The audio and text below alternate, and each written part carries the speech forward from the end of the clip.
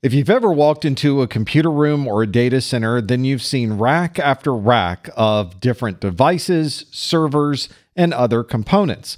Each one of those devices performs a particular function on that network, and they all have their role that they play. Sometimes these devices are standalone components, but often we will combine these components together into one single device.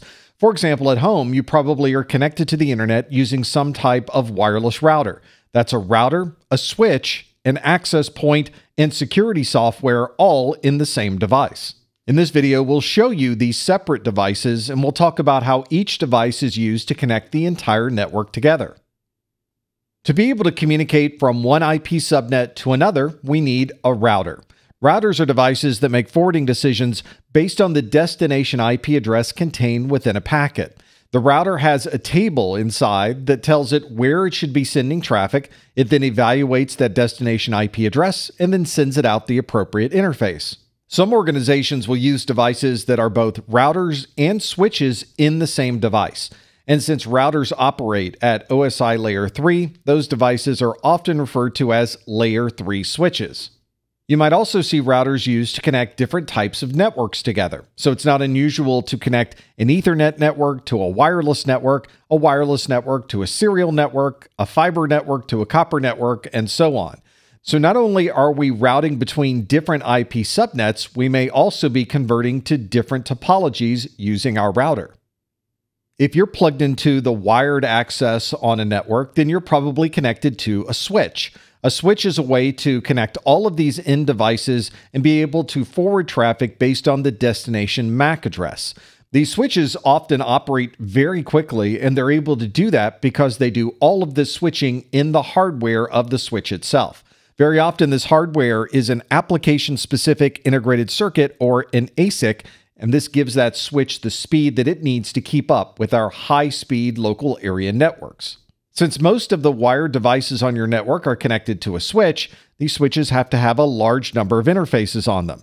They might be a 24 or 48 port switch in the case of a workgroup switch, and in the core of our network, we might have switches with hundreds of interfaces on them.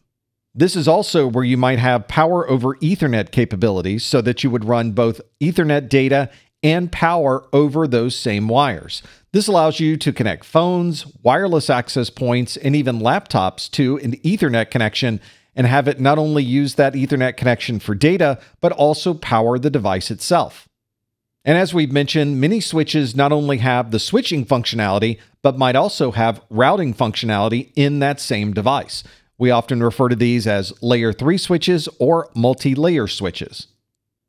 Some switches are relatively simple. You plug them in, provide power, and then you connect all of the devices you need to that particular switch. There's no way to differentiate between different VLANs on the switch. The switch may not even have any management functionality or configuration settings. It is effectively a plug and play device. We refer to these relatively simple switches as unmanaged switches, which means there's no management that you need to do to be able to get this switch to operate. But this also means there's no additional configurations you could make. For example, you can't configure this switch to have different VLANs on different interfaces. Effectively, the entire switch is one big VLAN. This also means there's no way to configure this switch to communicate back to any of your management stations. So there's probably no SNMP or simple network management protocol functionality. There's no logs that's being stored on this switch. It is effectively an unmanaged switch.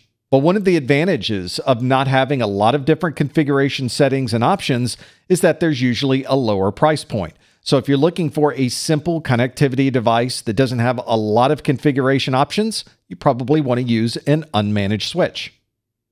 On an enterprise network, however, you need a switch that you're able to manage remotely, configure with advanced settings, and if that's the case, then you need a managed switch. A managed switch is usually a larger device. This often has VLAN functionality, so you can configure different VLANs on different interfaces. It might have a way to prioritize different traffic patterns so that your web traffic might have a higher priority than your FTP traffic. These might also provide with redundancy support so you can have multiple switches on your network at the same time and configure them in a way so that they are redundant to each other. If you lose one of the switches, you have a power failure, or the switch itself fails, you have another switch on the network that can take up the additional load.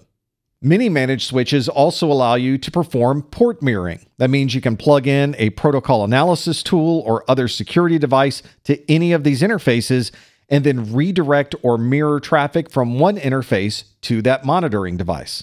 So if you are in an enterprise and you need remote management functionality through SNMP or a direct configuration option, you might want to use a managed switch.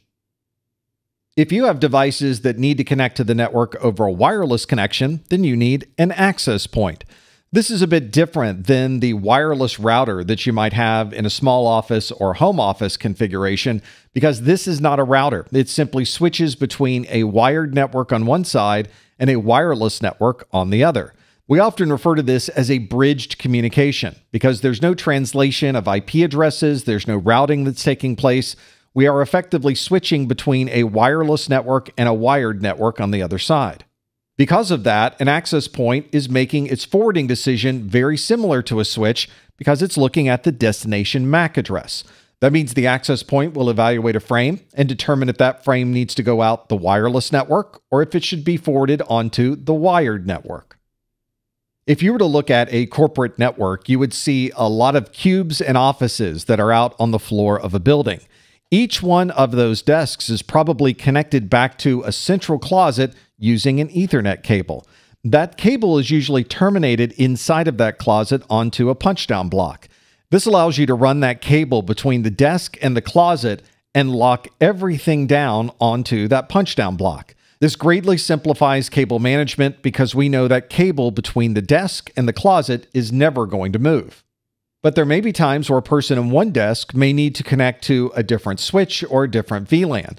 For that reason, on the other side of the patch panel, we may have RJ45 connectors where we can move things around whenever we'd like.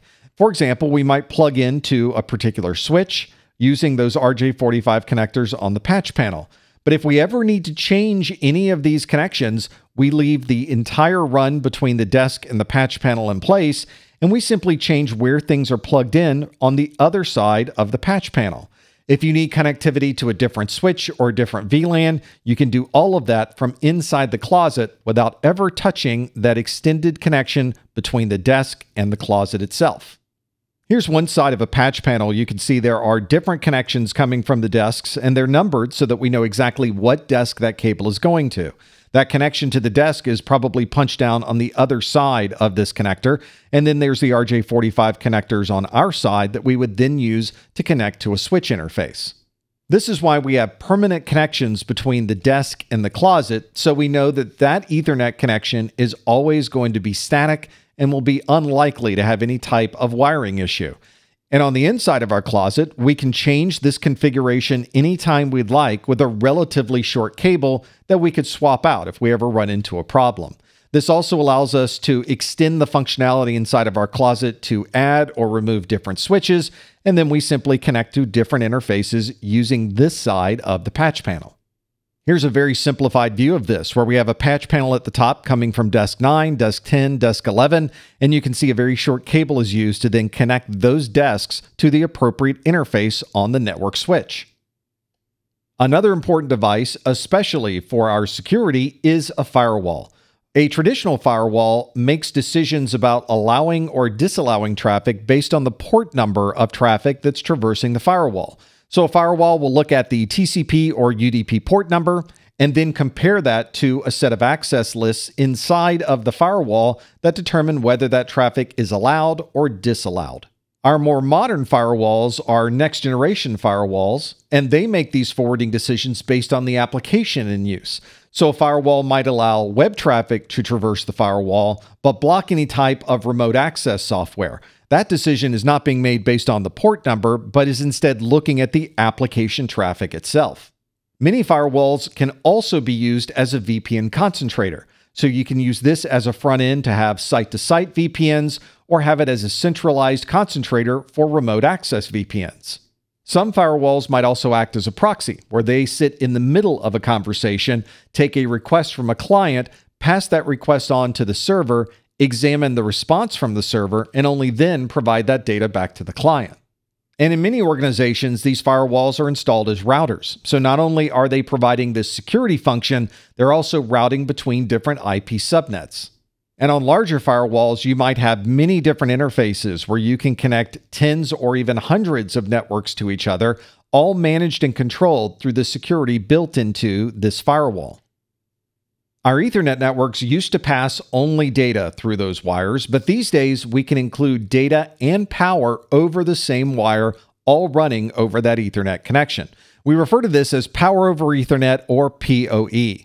We often use PoE to power our telephones on our desk, any type of access point that we would hang on the ceiling, or any other devices that connect to this network. This can certainly simplify the process of installing some of these components, especially when you have wireless access points that are in difficult places to get to in the ceiling. You would only need to run a single Ethernet connection that is providing both the data and the power for that access point. Many switches have power over Ethernet built into the switch itself, but if your switch doesn't support any type of PoE, you can use an injector like the one you see here. You would disconnect your Ethernet cable, put the injector in the middle, and then plug the injector into a power source to provide PoE over that connection. When the PoE power is coming from the switch itself, we refer to that as an end span, and if you're using an injector, it's referred to as a mid span. If you're not sure if your switch supports PoE, it's usually marked on the switch itself. On this switch, you can see it does have a PoE, and it shows that all of the interfaces that are marked in blue can be used for power over Ethernet.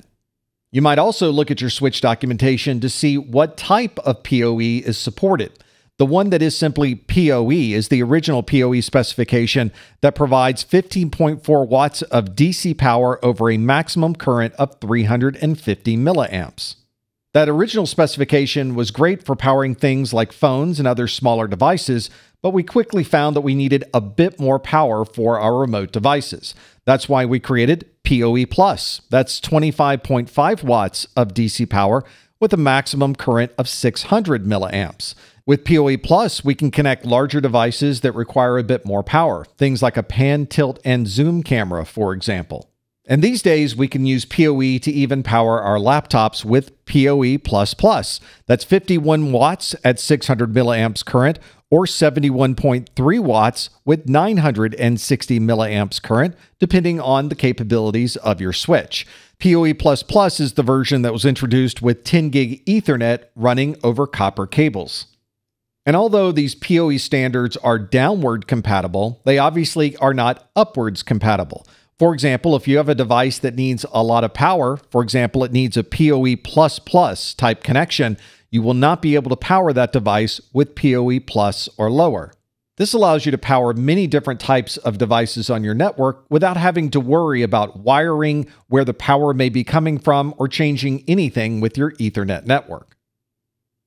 If your internet connection comes from a traditional cable television provider, then you're probably getting your data connection from a cable modem. This uses a broadband connection, usually provided over a coax link, and that is providing an Ethernet connection on the other side. So we're able to connect to the same network that sends our television signals and also send our data across that same line. You'll sometimes see these cable modem devices referred to as a DOCSIS device. This is referring to the standard used to transmit that signal across the cable network. This is referring to Data over Cable Service Interface Specification. We commonly see 1 gig communication and higher on these cable modem connections, and this is something that is a common connection for people that already have cable television in their home. And since you are getting such high throughputs over these connections, it's also very common to see these in a corporate environment as well. Although you may not even be using the television or the voice communication, having that high speed data on a cable modem can be very valuable in almost any data center. Not everyone has the connectivity of a cable network, so instead you may be using a traditional telephone network, and you can run a digital internet connection over that using DSL or digital subscriber line. This uses the same wires that you use for your analog telephone, but also sends digital signals across it at the same time. DSL can give you reasonably good throughput as well. It's not uncommon to see 200 megabits downstream and 20 megabits upstream on many DSL networks. That throughput is affected by your distance from the central office, and there is a limitation of approximately 10,000 feet. You have to be sure that that central office is at least somewhat close to where you'll be connecting to the network. Because of that, you'll find the closer you get to the central office, the faster the download and upload speeds will be on this DSL network. You might be lucky enough to have fiber that's in the ground outside of your home or office, and in that case, you may connect to that network using an ONT. That's an optical network terminal that converts the fiber coming into your home or business into copper connections that you can use on a traditional network. This ONT device is usually in a central place or a demarcation point or demarc. This may be in the data center itself, or it may be in a box that's on the outside or just inside of your building. We refer to this as the demarcation point because this is where we determine what part of the network is the responsibility of the user and what part of the network is the responsibility of the service provider. This ONT effectively creates that demarcation point so that any of the wiring on the inside of your building is your responsibility, but any problems with the network outside of your building are the responsibility of your internet service provider. Here's a better view of this ONT. There's a fiber connection coming into this link that's on the ONT. And you can see there's not only RJ11 connections that would be used for voice communication. This is probably a voice over IP that has phone numbers associated with it. And there's also a data connection that has an RJ45 connector, and that's probably outputting an Ethernet link that you could then plug into a router. This ONT can also be used for video, so you'll notice there's an F connector on this as well that you can plug in a coax connector that would then go to a cable box or directly to a television. And of course, we'll eventually need to connect devices and servers directly to the Ethernet network, and we do that by using a network interface card or a NIC. This is what we have built into system boards that are in our laptops and desktop systems, or we might have a separate interface card like the one you see here that can provide multiple Ethernet connections on a single card. There are many different types of network interface cards. You could get one for a 100 megabit Ethernet, a gig Ethernet over copper. Maybe this network interface card has fiber connectors on the back of it, so you'll need to make sure you're using the right kind of network interface card for the network that you're connecting to. These separate expansion cards allow you to extend the functionality of your existing device. If there's no Ethernet connection on your motherboard, you can add Ethernet connections that way. Even if there is an Ethernet connection built into the motherboard, you can add additional Ethernet interfaces by simply adding one of these expansion cards.